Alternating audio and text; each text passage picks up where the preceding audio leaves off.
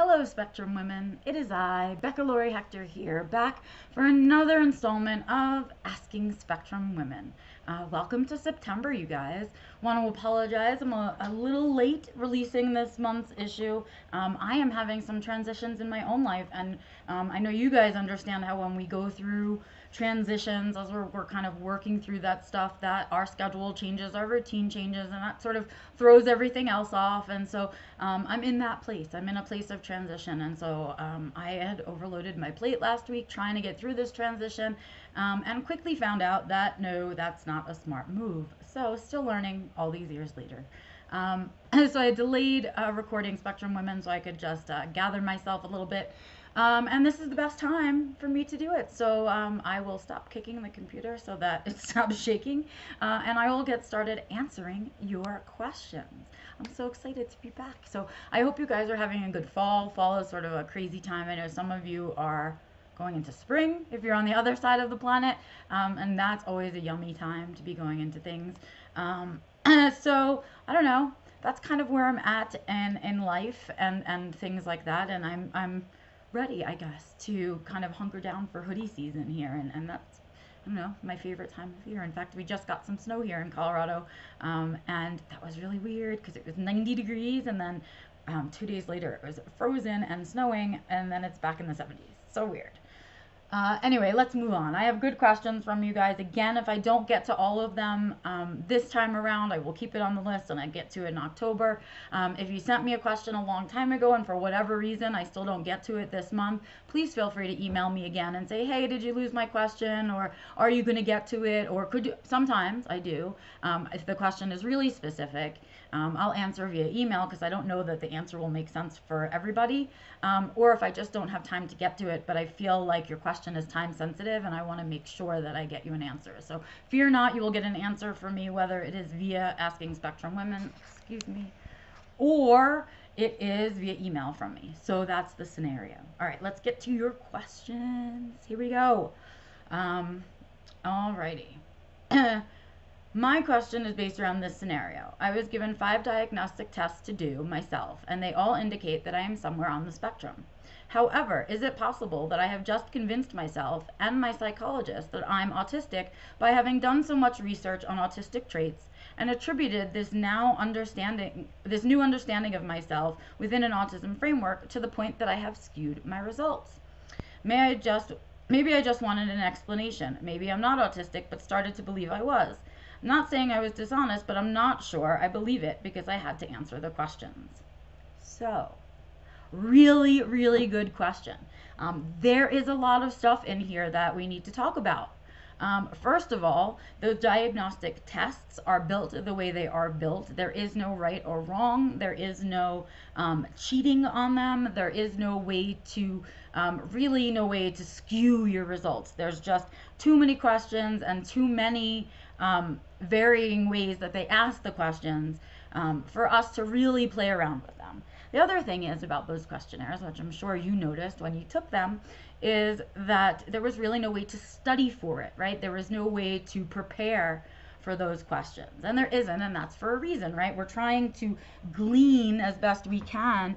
Um, ooh, terrible. Sorry, you guys, no fidgeting. Um, and just to kind of glean you know, where we're at, what our history is, and that kind of thing. So let's just make that part of it. So we need to first part address that part. Now, I will tell you that I had this exact, almost word for word, conversation with myself when I got diagnosed, when I took those tests. Also, I said they were the hardest tests I've ever taken, and that is true to this day. Partially for this reason that we're talking about, thinking that I had skewed my results and and I had um, I, that I wanted so much to have an answer to, to my issues that I um, found the autism and then I made everything fit it, right? And I had that same issue. Um, the thing is that when you have that initial response, so before you took um, any of those tests, there was something that you read or some reason, some something that pointed you in the direction in the first place that moment of recognition in that first place, before you did any research, before you did anything else, that first hmm moment, um, that's the one you're looking at, right? That's the one that turned you on to even do all of this research. And the research probably just continued to confirm for you your experiences, right? And so, what I want you to understand is that those tests are done the way they're done, and there's a reason that we don't do one test, and there's a reason that we try to ask, uh, have some testing done with other individuals, not just the, the one person, but someone who's known them for a long time, for all of those same reasons, right? Um, and so, you know, the testing is the testing, right? It comes out the way it comes out. Your reason for seeking testing is the thing you need to concern yourself with, right? Not the testing itself. The reason that you first recognized autism and sought out a diagnosis in the first place is your true aha moment. It has nothing to do with the testing itself, right? The testing is just to validate or to formalize this already known information, right? Which you've already discussed with your psychologist and all of those same things right?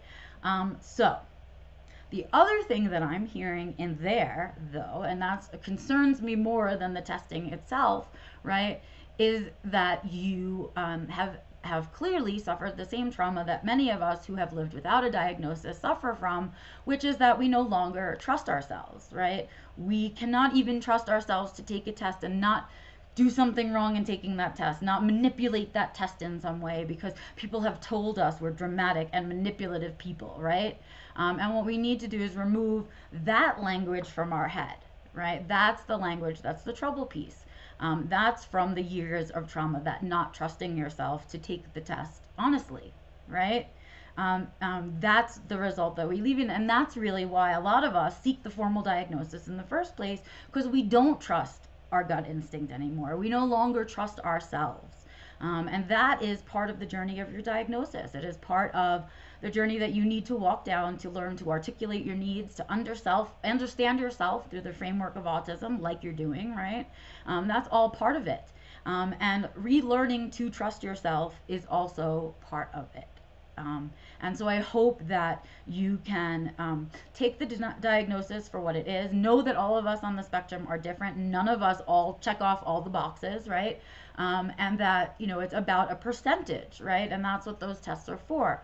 But tests aside, diagnosis aside, the whole reason for finding it is to um, improve the way that you are living your life, right? Whether by providing supports, providing clarity, um, providing you the right stuff to research, or giving you a way to process through your life and kind of alter it through this new framework so that uh, you can have a thriving life instead of a life that you're just surviving, right? Um, which is why I teach my course and something I think you could really benefit from. Not that I want to be selling that right here in the middle of Asking Spectrum Women, but go check out my website. Um, email me again if my answer made sense to you. Moving along. Here we go. Um, alrighty. All right, so this is a great question. This one, um, wow, touches me. Sorry to make a funny voice, but I do tend to joke when I get really touched by something. Um, alleviates my tension, I guess. Um, our vet says that our cat is poorly with high blood pressure, chronic kidney disease, and thyroid problems. I knuckled down and she reluctant and she reluctantly said that if the weight loss is in her kidneys, then she might have two months, and she may well have more. I appreciated her candid approach.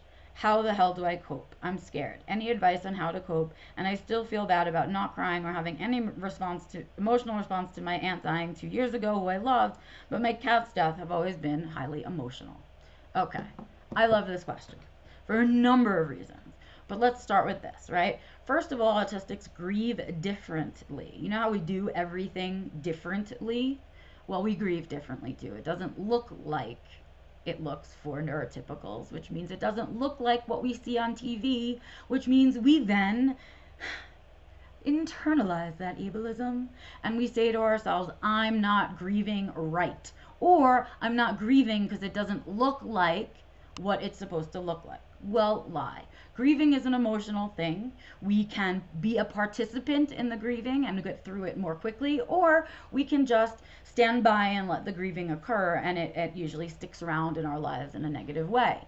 So, what I want to tell you is whether or not you're aware that you grieved for your aunt two years ago, you definitely did. Do you know why? Because you're still talking about it, which means that you haven't finished grieving because you probably haven't addressed it head on. You probably haven't said, um, you know, this is a way that I can um, share how much I loved this person with the world and put closure on this thing, right? So that's usually what our holdup is. The crying, not crying thing, meh, not really a good judge, right? I'm not really a crier. I also have um, issues in terms of interoception and understanding my emotions, which is called alexithymia. And with alexithymia, I never cry on time. Never. It never happens for me in the moment. It happens to me some other time. And that is the same with grieving. It's I've experienced it with my pets and I've experienced it with my mother. I will tell you the experience with my pets um, was is markedly different than the experience with my mother, obviously. Um, and um, with my pets, I definitely cried more. It's almost like when I um, the the losing of my mom and going through that grieving period was um, I had too many too much adulting to do at the time that it was going on to properly grieve through it or grieve in the same visceral way that um, we grieve over our pets. I feel like I didn't have that luxury because I was the only one left and I had to do all the busy stuff, right? I had to close up all the things and the papers and the legal stuff and all of that stuff. And I didn't, um, so I didn't really cry in that same way that you're talking about your aunt. I didn't cry. In fact, I've only recently, and it's five years later, started crying about certain things which means I'm still grieving and I might be grieving about this particular loss for the rest of my life. I don't know, right? Um, and I think when, when it comes to our pets, um, it's a different experience and, and there's a couple of reasons for it. First of all the bond that we have with our pets the bond that we share with animals is different than the bond that we share with humans. Why? Communication is different. We don't use words to really communicate with animals. We don't need to right? There's a lot of unspoken stuff that happens in that bond and other ways that we um, share. So what happens for us is that as our pet is getting older, some of us may be in this position where we're needing to think about making that decision for this animal, or it may happen unexpectedly out of nowhere, right? But we ne- we don't get to turn to our pets and say, I love you. I'm going to miss you. You were important to me. I'm going to be sad. This is going to be happening to you. I'm sorry this is happening to you. I will do my best to keep you comfortable. We can't say any of those things to our pets. We can't tell them what's coming. We can't we, we can't. There's the only way to do that is in the time that we've put in with them, right? In that moment, um, there's the only way that we can share with them is to physically share space with them. Um, and I think that is a really hard part of it, right? There's a lot of things that when we're dealing with human beings, we solve by using words, and we can't do that with our pets. And so we have to grieve them in a way without words. We have to go through their illnesses and their death in a way without words, right? Um, in order to be a participant in it with them.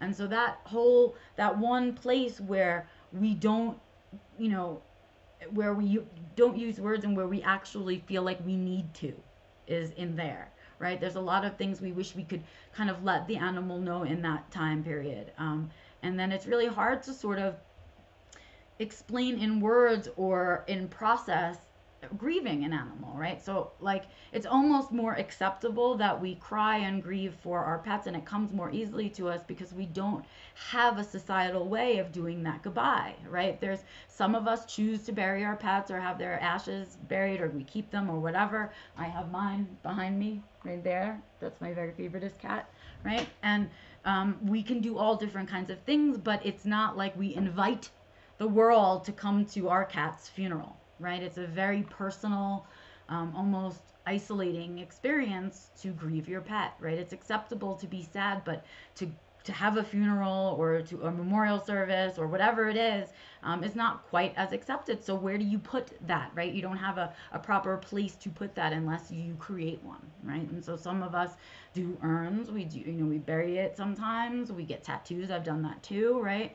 Um, and so what I suggest in terms of, for, first of all, in terms of just um, understanding that we grieve differently and so to be kind to yourself about that because our grieving is never going to look like what it looked like on tv it's just we different we do it all different Um, and then the next thing is that, of course, the death of a person and a death of an animal in our lives is different, right? Even though I loved my mom and I'm sure you loved your aunt and, and all of those things, oddly, we spend more time with our pets right? We're with them all the time and they rely on us. And it, when they're gone there's a hole there's there's suddenly things that we're not doing and there's an awareness of it that's different. So to remember that that it's a different grieving process right? And for some of us um, the loss is so great um, for that with that pet because that pet was a support for us in one way or another.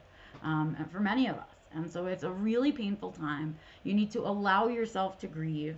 You need to understand that you grieve differently. And you need to find ways to walk through the grief in your own way. So in terms of preparing um, you, you can't really be ready.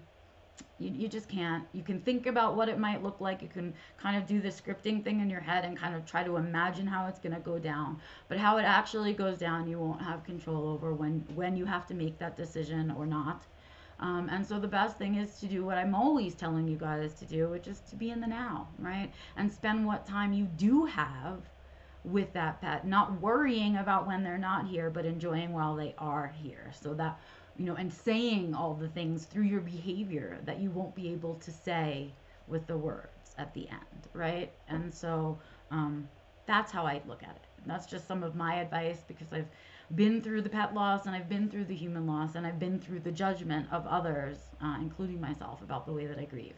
So that is my overall take on that. Okay? All right. Moving along. One last question for this month, and then I think before I lose my voice, I best say goodbye.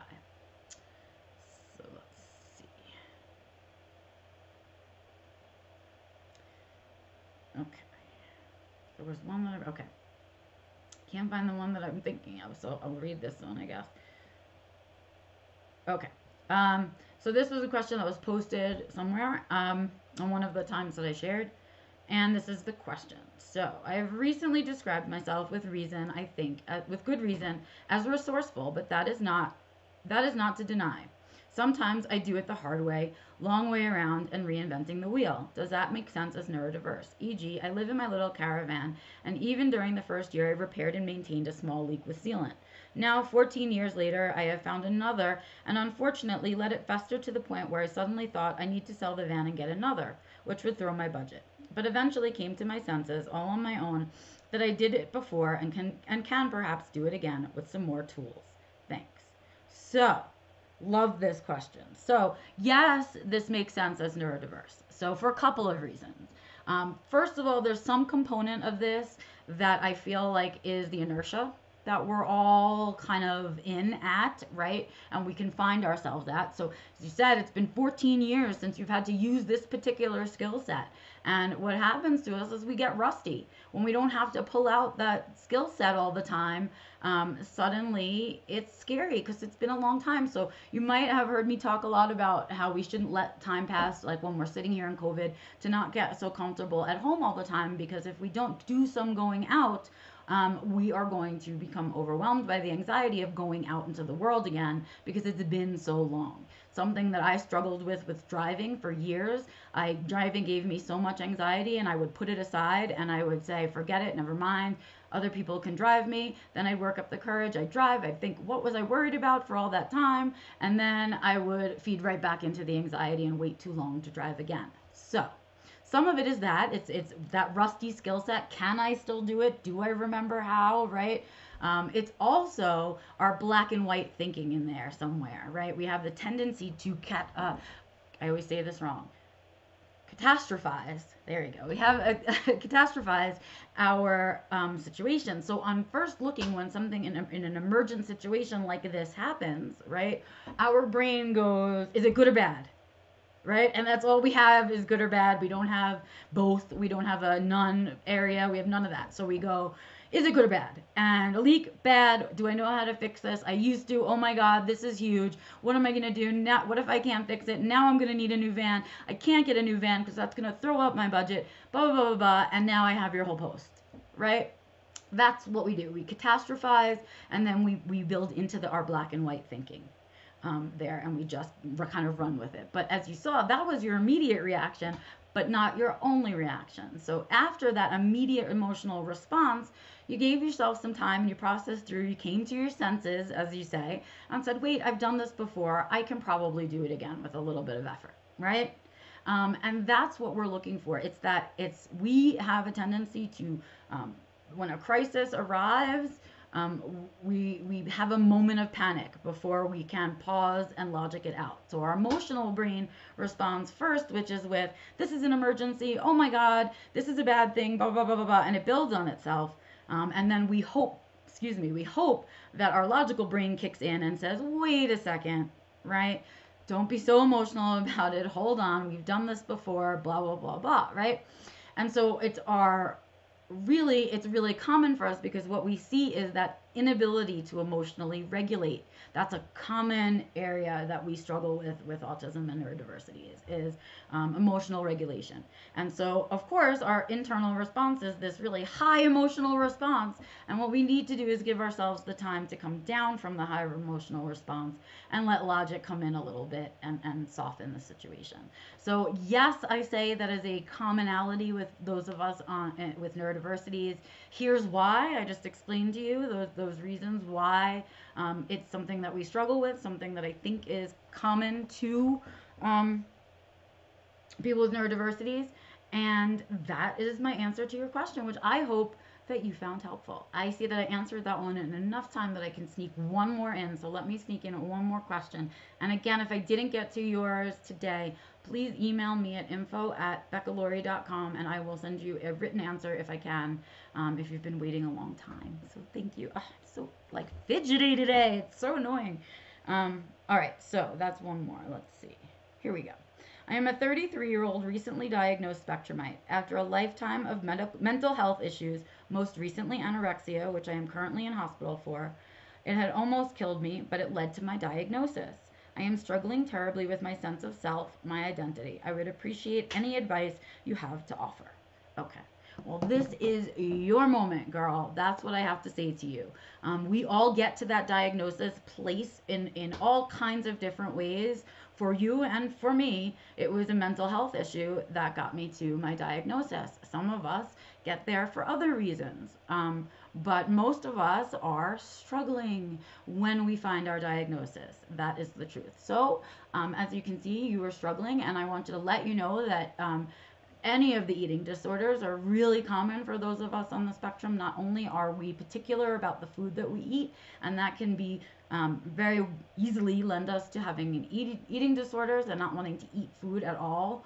Um, and um, it just makes food complicated for us. It really does. And so I want you to understand that on top of that, you're of course a woman, which means you are even more susceptible to an eating disorder. So I want you to know that you can get better. I want you to know that we're all cheering you on. And I want you to know that the way to get better from all of these things is through your diagnosis. So I know that you are struggling right now with a sense of identity. I remember that first year. I talk about the first year symptoms all the time. This first year is going to be so important in terms of this identity seeking. Right now, you shouldn't have a sense of identity. You just got a piece of information that is life altering, and that piece of information will color all of your memories and it will color all of your future memories, right? Because it is the lens through which you process the world. So, welcome to your diagnosis. Understand that it is a doorway to getting better, a doorway to building a life that fits you, that works around the things that you're struggling with. Um, it will give you the names of the things you are struggling with, and you will be able to articulate your needs in a way that you've never been able to do before.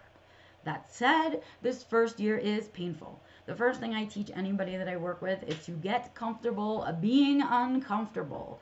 Um, unfortunately, change, growth, um, knowledge, all of that stuff comes with a lot of discomfort. Um, on the other side of discomfort, though, is a hell, lot, a hell of a lot of comfort that you've never felt before. So it's worth the work. This first year, be kind to yourself.